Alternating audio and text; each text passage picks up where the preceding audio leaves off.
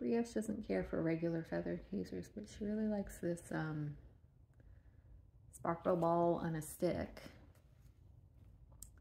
Did I say sparkle ball wrong? Did I say it weird? Sparkle ball. It is uh, something I picked up. It's made by Whisker City. I think probably PetSmart. I can never remember. Usually where I pick up toys is um, PetSmart. She really likes it.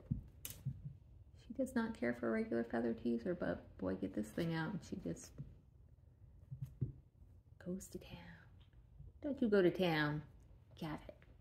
You got it.